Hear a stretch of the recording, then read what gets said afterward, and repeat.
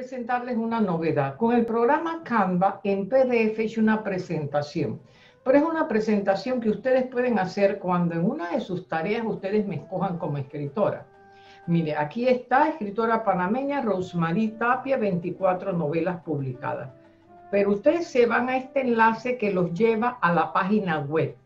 En mi página web ustedes pueden encontrar biografía, obras, en páginas pueden encontrar distinciones, entrevistas, sitios de venta, actualidades, conversatorios en vivo, contacto. En tutoriales es bien importante porque ustedes pueden encontrar en tutoriales, los que desean escribir, ciertas cápsulas que yo he dejado como cómo escribir claro, cómo escribir ficción, cómo escribir novelas. Por ahí vamos. En sitios de venta que a veces andan buscando está en páginas sitios de venta, están todos los sitios de venta, incluso entrega a domicilio. Entonces es una página, como ustedes verán, completa. También les estoy dando como un tour. También está Siembra de Lectores, el programa sociocultural que yo creé para promover los círculos de lectura con un mapa por provincia. Tenemos 376 círculos de lectura está la crítica literaria también. Cuando vamos a la segunda página, yo tengo una serie que he denominado Buscando el Buen Camino. Ustedes hacen en Roberto por el Buen Camino y su continuación 20 años después. Ustedes hacen clic aquí, los lleva al video, agrandan el video y ahí comienza. Roberto por el Buen Camino mi novela más exitosa.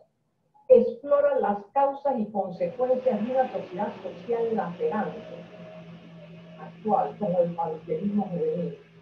La Está basada en una visión que es a la vez una propuesta para lograr el cambio de actitud que nos quiere encontrar respuestas que neutralicen un proceso que está en marcha y que amenaza con deteriorar para siempre lo más humano.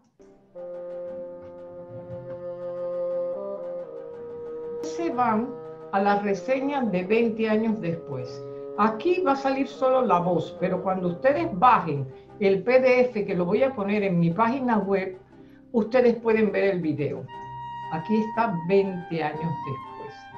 Hacen lo mismo, agrandan el video para que lo vean completo.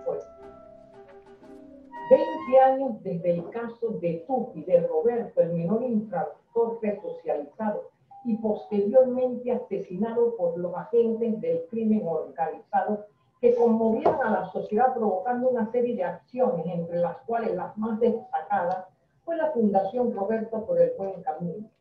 El apostolado de los miembros de la Fundación será puesto a prueba nuevamente. El odio, la venganza, la delincuencia, el revanchismo por un lado, la paz, el amor, lazo, solidaridad, el perdón y la mano fraterna que ofrece oportunidades se verán cara a cara otra vez procurando constituirse en la respuesta. Bueno, como últimos jóvenes, aquí ustedes ven el sello de siembra de lectores. Les dan clic les sale el programa Siembra de Lectores, se inscriben porque nosotros estamos teniendo constantemente actividades. El 24 de marzo vamos a presentar al poeta Porfirio Salazar a las 3 de la tarde. Entonces se inscriben porque de esa manera van a conocer todas las actividades. Tenemos 4.400 miembros activos. Activos el que todas las semanas entra, ve la página, pone un me gusta, pone un comentario. Ese es el miembro activo. Bueno, jóvenes, esta es la presentación de las dos novelas que esa serie yo he titulado Buscando el Buen Camino. De venta en Gran Morrison y los principales sitios de venta.